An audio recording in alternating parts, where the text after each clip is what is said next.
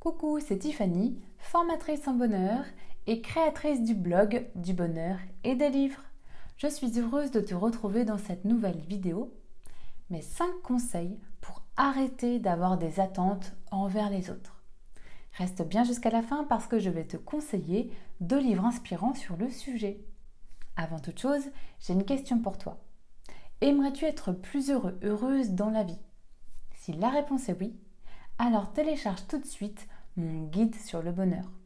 Tu peux retrouver le lien pour le télécharger gratuitement dans la description. Maintenant passons au sujet de la vidéo.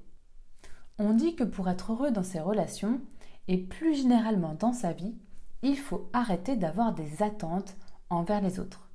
Mais qu'est-ce que ça veut dire concrètement? Comment faire pour arrêter? Et par où commencer?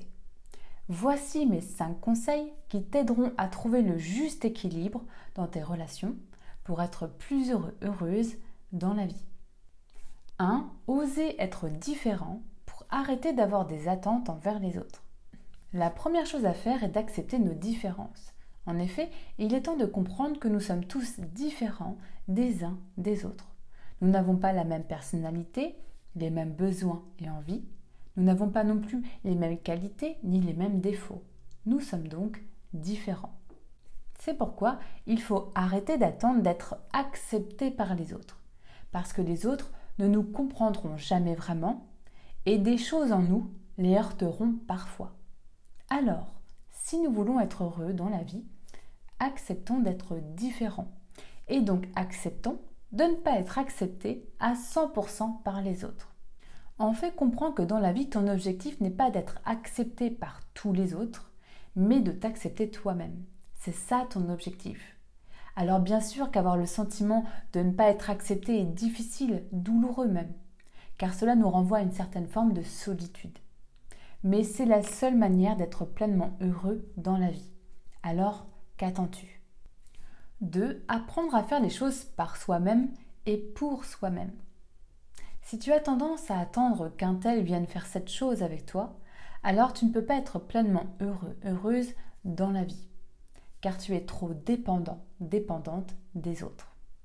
En fait, on nous a appris à dépendre des autres, à avancer ensemble à tout prix, et surtout, on nous a appris à avoir une peur bleue d'avancer seul et donc d'avoir peur de la solitude.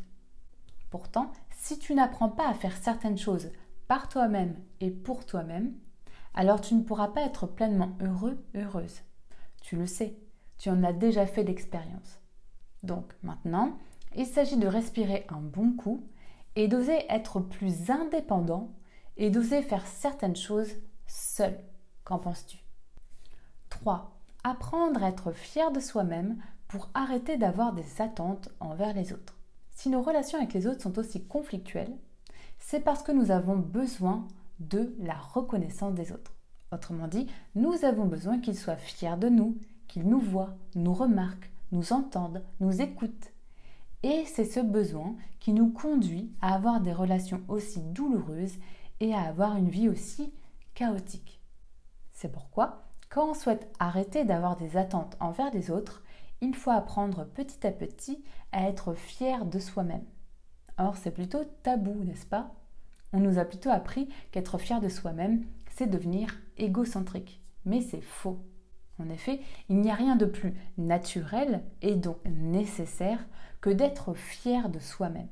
Donc, au lieu d'aller chercher de la fierté chez les autres, cultive-la en toi et pour toi. Qu'en penses-tu? 4. Ne pas chercher la réciprocité parfaite et arrêter de compter les points dans nos relations tu as le sentiment de trop donner et que certaines personnes ne t'en donnent pas assez. Cela te fatigue Alors de tout cœur, arrête de compter les points, arrête de faire une fixation sur ton besoin que ta relation soit d'une réciprocité parfaite. Ne vois-tu pas que tu es en train de te faire mal à toi-même? Ne peux-tu pas plutôt t'arrêter un instant et te demander Qu'est-ce qui m'agace le plus dans cette relation ou chez cette personne en particulier? Puis demande-toi Qu'est-ce que j'aime dans cette relation ou chez cette personne en particulier. Enfin, prends une décision en te posant cette question. Est-ce que j'y trouve tout de même mon compte? C'est-à-dire, ne suis-je pas en train de me focaliser sur ce qui ne va pas au lieu de me réjouir de ce qui me plaît dans cette relation?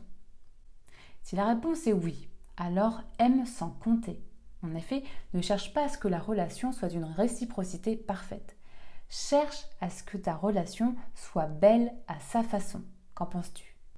5. Savoir quand arrêter d'entretenir une relation qui ne nous convient pas.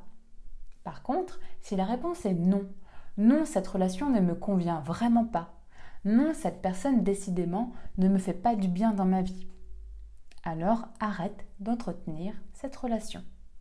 Parce que j'ai remarqué que quand on cherche à arrêter d'avoir des attentes envers les autres, on peut tomber dans le piège de continuer à entretenir des relations pesantes, voire toxiques pour nous. Donc comprends que tu es libre à tout instant de te délester d'une relation qui ne te fait pas du bien, pire d'une relation qui te fait du mal. Parce que ne pas avoir d'attente envers les autres ne veut pas dire de tout accepter non plus. Vois-tu la différence? C'est dans cette différence que réside ton bonheur et ton bien-être. Voilà, c'était mes 5 conseils pour arrêter d'avoir des attentes envers les autres. Dis-moi en commentaire si ça t'a plu, je serai heureuse de te lire. Je te rappelle rapidement ce que nous avons vu dans la vidéo. 1. Comprends que dans la vie, ton objectif n'est pas d'être accepté par tous les autres, mais de t'accepter toi-même. Donc ose être différent, différente, et ne cours plus après l'acceptation des autres. 2. Apprends à faire certaines choses par toi-même et pour toi-même. Ose apprendre à être plus indépendant, indépendante. 3. Il n'y a rien de plus naturel et donc nécessaire que d'être fier de soi-même. Donc au lieu d'aller chercher de la fierté chez les autres, cultive-la en toi et pour toi. 4. Ne cherche pas à ce que la relation soit d'une réciprocité parfaite. Cherche à ce que ta relation soit belle à sa façon. 5.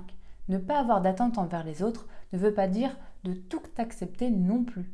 Donc si tu remarques que certaines relations te font plus de mal que de bien, arrête de les entretenir. Voilà, dis-moi en commentaire si ça t'a plu et clique sur j'aime.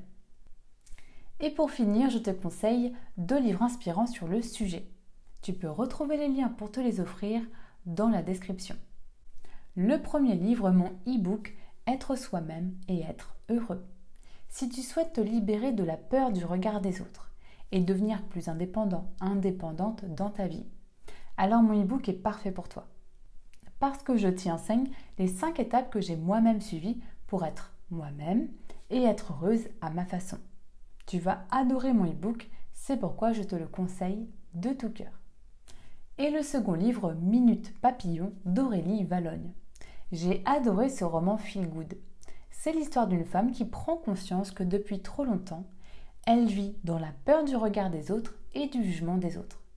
Elle va donc apprendre comment devenir elle-même et va reprendre sa vie en main pour être heureuse à sa façon. Je te conseille aussi de tout cœur ce livre car il te fera beaucoup de bien. Je te remercie de tout cœur d'avoir regardé cette vidéo. Si tu as aimé, clique sur j'aime et abonne-toi à la chaîne. En attendant la prochaine vidéo, souviens-toi, le bonheur ne s'attend pas, il s'apprend. Salut